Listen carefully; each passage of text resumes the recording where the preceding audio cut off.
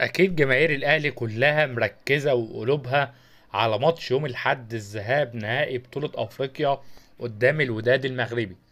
أنا بشوف إن إن أنا لاعب فريق عربي في النهائي بيبقى صعب جدا أو بيبقى صعب جدا إن أنا لاعب فريق عربي لأن الفرق العربية يعني بلغة الكورة فرق رخمة تكتيكيا. يعني فريق بيعرف يستفزك فريق يعرف يضيع الوقت فريق يعرف يخرجك خالص عن المباراة حتى لو انت كنت حلو بيعرف يهبطك أو ينزلك لمستواه من عن طريق الاستفزاز تضييع الوقت الكور العالية الالتحامات الفاولات اللي ملهاش لازمة في نص الملعب. فأنا بشوف النادي الأهلي أو لعيبة النادي الأهلي رقم واحد لازم تبعد عن الاستفزازات لأن أنا متأكد مليون في المية إن لعيبة الوداد هت- هت- هتتعمد إن هي تستفز لعيبة الأهلي كرويا في الماتش. فأنا بشوف لازم نبعد عن الاستفزاز لازم نبقى مركزين جدا لازم ما نبقاش متسرعين في الماتش.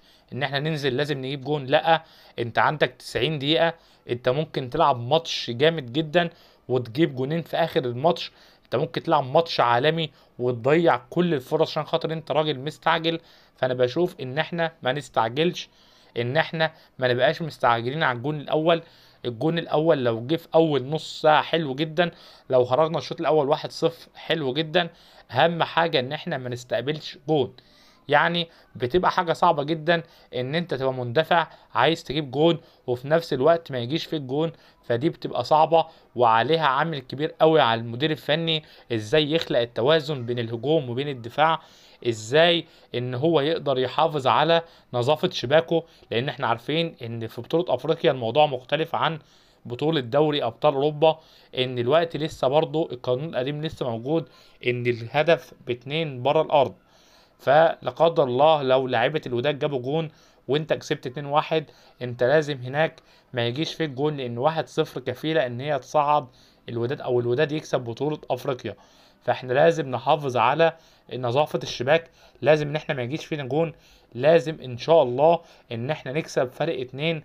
بشوف نتيجة 2-0 هي النتيجة المثالية لأي فريق في نهائي أفريقيا خصوصا لو النهائي بيتلعب على ماتشين بتبقى نتيجة كويسة جدا. أنت بيبقى عندك فرصة بره ملعبك إن أنت تجيب جون فتصعب الأمور. لازم الوداد يجيب أربعة لأن 3 واحد مش كفيلة إن هي إن هو يكسب. لا بتدخل extra time فأنا بشوف إن آه، نتيجة 2 صفر هي نتيجة عالمية. فأنا بشوف إن النادي الأهلي لازم يلعب آه يلعب مندفع يعمل ضغط من قدام. بس لازم يعالج الموضوع ده إن هو يخلق بعض التوازن وبشوف إن على نص الملعب هيبقى عليه الحمل الأكبر إزاي يندفع إزاي يضغط من قدام وفي نفس الوقت إزاي مثلا واحد زي حمدي فتحي أو ديانج أو مروان عطية يلم من ورا اللعيبة.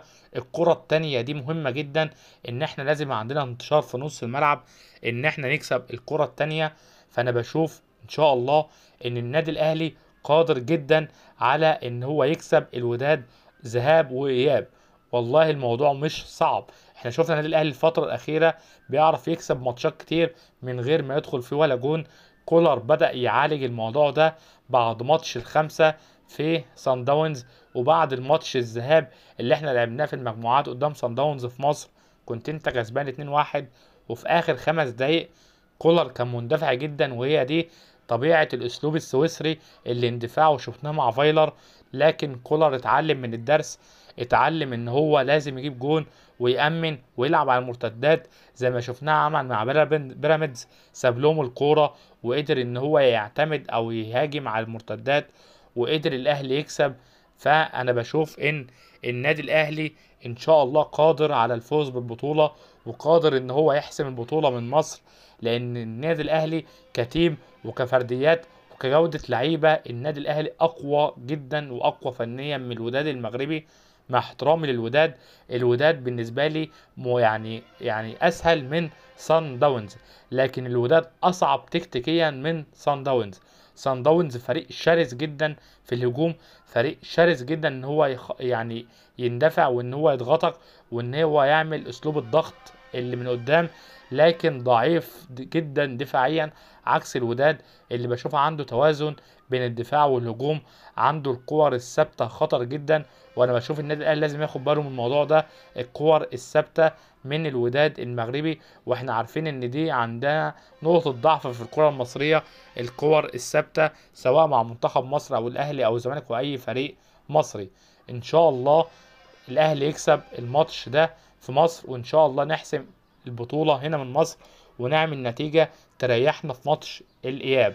اكتبوا تحت في ال comments ات تتوقعوا مين اللي يكسب وتوقعوا تحت في ال comments ات النتيجة.